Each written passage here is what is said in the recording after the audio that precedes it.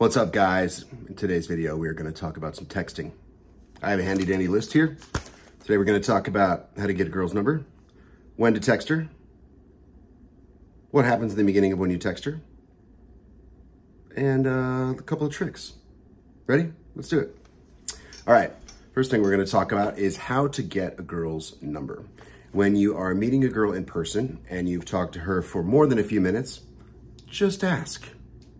There's gonna be times when you don't know if the girl likes you and she actually does. And there's gonna be times when you think that the girl likes you and she doesn't. You're not gonna know. So the only way to know is to ask. So ask for the girl's number. When you ask her for her number, all you have to say is, it's pretty easy. You say, uh, uh, hey, I gotta get out of here. Uh, let me get your number. Maybe I'll text you. And then you pull out your phone and you hold your phone and you put her number in and you text it and you text her right then and there. You text her uh, your name, and then you say like, you know, Jake, the hot guy from whatever, right? That is going to keep you uh, from getting a who is this text, the dreaded who is this? Who is this? You are nobody. Who is this? That's the worst text to get. And if you text her right away with your name, right, to her phone number, you can also check. You can say like, oh, yo, did you get, uh, did you get it? I just texted you right now. She'll say, yeah. And then you say, cool. And now you know that your number is in her phone. She gave you the correct number and she now has your name in her phone. So there's no who is this. Make sense? Good. Okay, uh, next thing is when do you send her the first text? You want to send a girl the first text when uh, between one and three days after you get her number. So in other words, if you get the girl's number on Friday night, you want to text her either Saturday, Sunday, or Monday. Easy enough? Now, do you do it on day one, day two, or day three? Well, first of all, we don't do it on day four, because if we do it on day four, then um, it's you you're experiencing like some disconnection Four days without talking to somebody when you first meet him is too long, and you don't want her to feel a disconnected vibe. So you have to do it on day one, day two, or day three. Make sense? Now, which day you text a girl depends on two factors. Number one, how eager you might appear by texting the girl on that day. In other words, if you text a girl on the first day, like right after you meet her, it's like Friday night you get her number, and then Saturday morning, you're like, boom, I'm texting you, you're the best, right? Uh, that could look very eager, right? If you text the girl 30 days later, which I don't recommend, then that would obviously not look very eager. Now, eagerness is not necessarily bad. Again, eagerness is not necessarily bad. So the second factor is how you believe the girl will interpret that eagerness, right? So in other words, if you meet a girl and you guys have an amazing connection, you guys lock eyes, everything's amazing, right when you first meet her, you take her number, and the next day you text her, right? That girl, although that text could be uh, interpreted as maybe an eager uh, text, that girl is really going to probably interpret that as, wow, this is so cool. I met a guy, we have a great connection, and this guy's not playing games. He just texted me right away. How refreshing, right? But if you meet a girl and she maybe doesn't, you don't know if she likes you as much, and you're like, man, I don't know. And then you text this girl right away, she might interpret that eagerness as neediness. So again, how eager could you appear and how might she interpret that eagerness? Uh, texting a first date could be great. If you um, want to back off because you think you might have come on a little too strong, text her on the third day. And if you just don't know, text her on the second day. Got it? All right, moving on. Uh, you've texted her the first time. We'll talk uh, later on or in a different video about what to text. Today, I just want to go over some basics. In the beginning of texting this girl, you are going to text her more texts than she texts you. And those texts are going to be quite a bit longer than her texts. This is because you are investing more in her in the beginning until she has an idea of if she likes you. Once this girl starts liking you, you'll notice that your texts and her texts start to be about the same length and about the same frequency. And then as the girl starts liking you more, you can back off a little bit. She's gonna uh, transition into texting you more and texting you longer texts. So if I take your phone and I scroll through the texts and I see that your texts no matter like forever with this girl have been longer and more frequent, I know that she's in the position of power in your relationship, the position of dominance. You want her more than she wants you, simply because the length of your texts is longer, right? And your texts are more frequent than hers. I call this rule the texting length and investment rule. In other words, if you are having longer texts, you are investing more in the other person. You are essentially chasing that other person. So that's a good thing to, a, good, uh, you know, troubleshooting tool if you want to look back through your texts with girls and see if you were in the submissive position of chasing or if you were in the dominant position of being chased. Now, again, you are going to tra- uh, like transition in the middle of texting this girl from being the guy who texts a lot to being the guy who doesn't text as much. How do you do that? How do you get to a place where you're not texting as much and the girl is the one texting you a lot? Well, you have to transition. One way that I like to transition and at the same time test how much a girl likes me is by purposefully ending a conversational thread. Okay? So let's say you're texting and the girl says something and instead of like asking her a question to continue the conversation, you might just say, cool, or yep, or thumbs up, right?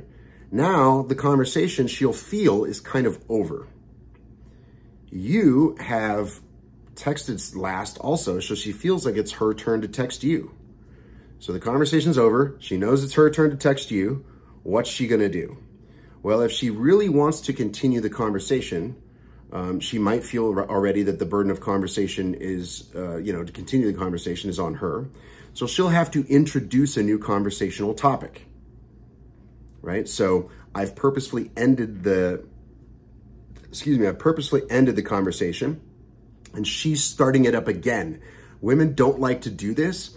And so when they do do it, it is a obvious signal that this girl wants to continue talking with you, is really interested, really likes you, etc. Okay? This is a great way to transition from you being the one who texts to her being the one who texts. Hooray, now you're cool. Got it? All right. So what else? Uh, what else can we talk about? So the texting length and investment rule we've gone over. We talked about uh, in the beginning who texts more, and it's you. And we talked about how to one trick to transition. Now, um, let's talk about asking a girl on the date. Okay, once you have texted a girl a little bit back and forth, uh, I don't know, maybe five or ten texts a piece.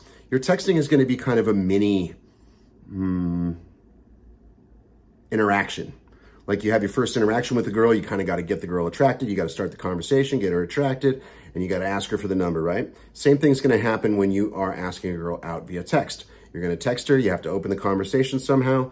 Then you have to kind of do a little bit of mini attracting of the girl, remind her that you're funny and cute and amazing and all this shit, right? And then you are going to ask her out. When you ask her out, it's really important that you don't confuse yourself this is what a lot of guys do. They confuse themselves. They ask, you know, something like, okay, how about let's go out Thursday night at 8 o'clock, right? Well, if the girl says no, you're now in a position where you don't know if that no means she doesn't want to go out with you or if that no means I'm not available Thursday night at fucking 8 o'clock. Now you've dug yourself in an idiot hole. You're an idiot and you're in the idiot hole. Now what do you do, idiot? It's really tough, right? So to prevent this, what we'd like to, and to also give us ourselves a clear idea of whether or not this girl wants to go out with us, what I like to do is I like to say, so hey, what's your schedule like? You know, I was thinking we could go to, I was, I, have been wanting to go to this one place, name the place so she can look it up and shit. I've been wanting to go to this one place. Uh, um, I was thinking you could come along, you know, what's your schedule like uh, uh, coming up here? Now, if you get a blanket no, which is like, oh, I'm just really busy with no explanation, that girl, you got some more work to do. Now you are texting her, so you can still say to your head, okay, I need to get this girl a little more attracted. She's not ready to go out with me yet, right? So I would go back and I would start saying more attractive things, right? We'll talk about those in a different video. For now, um, you have to know that you need to do more work. Fair? All right.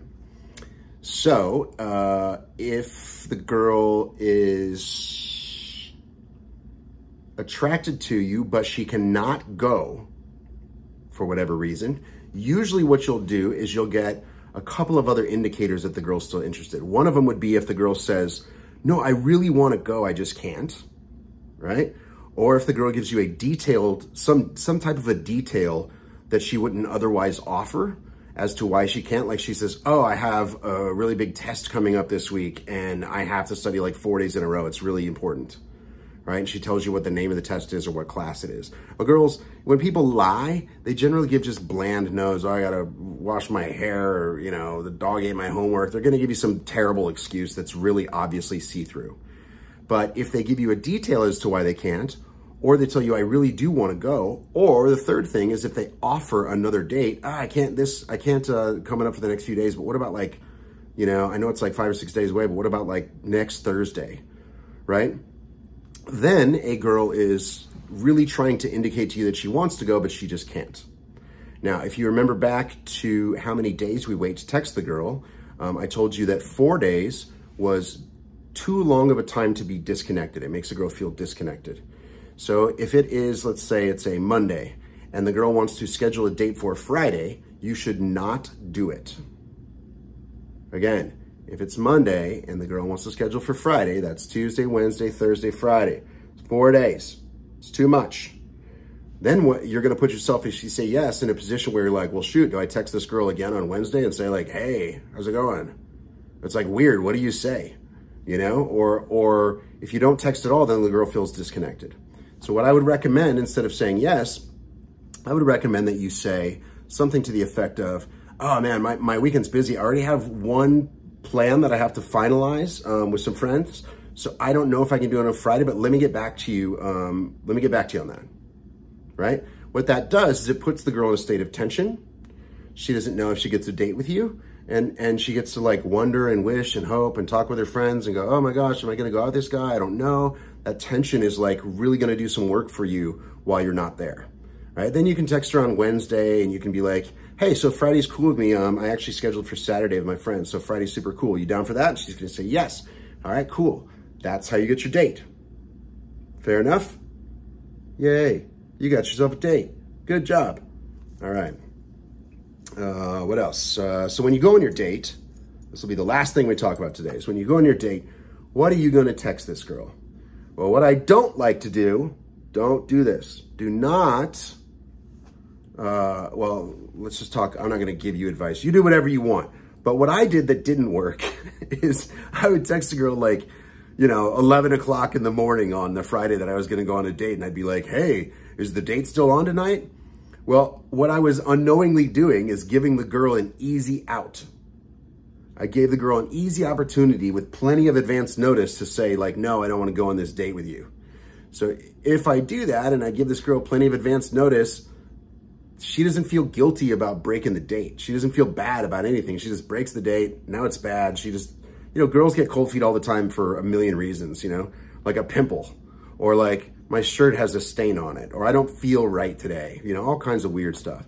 So, um, I would recommend that you don't text the girl at 11 o'clock. Instead, what I like to do is if our dates, let's say our date's at eight o'clock, I like to text the girl like 5.30 and I like to have already left the house, right? So that I'm running a couple errands, I've already left the house. Now she feels like, well, he's already ready for the date. He's already put the effort in. Like I can't just ditch him now. I kind of have to go, right? And I, you know, obviously you don't want the girl to like have to go on the date with you, but when it comes to girls making decisions and being non-committal about a first date, this little extra nudge can really help, right? So what I'll do is I'll say, I'll text and I'll say, uh, hey, just left the house. Uh, I'll see you at, uh, I, am running a couple er errands. I'll see you at eight, you know, pretty easy. Hey, just left the house, run a few errands, excited to see you at eight, exclamation. Easy enough. Now she knows, you know it's the date day. You're going to the date at eight o'clock and you've already left the house. You're going to meet her there. You're already, you're already coming. It's already happening. You're already doing it. Uh, I found out that this, for me, uh, made the percentage of dates that I got go up a lot and uh, the percentage of flakes go down. So uh, I think without further ado, that's our video for today. Hope you guys enjoyed the information. Go text girls. I'll talk to you. I'll talk to you later.